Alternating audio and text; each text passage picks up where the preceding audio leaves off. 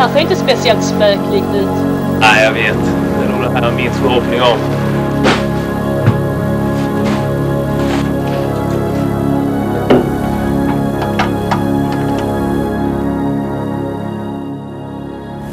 Jag vet faktiskt inte så mycket om stället förrän 1974.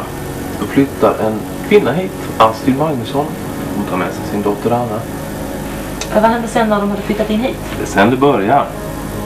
De här mystiska ljud, de här röster. De ser saker flytta sig, poltergeist-fenomen. Hur gick det sen då? Anna försvann dagen efter att hon hade tagit studenten. Där har vi henne. Gick runt i alla tidningar. Fy vad otäckt, otäckt, otäckt.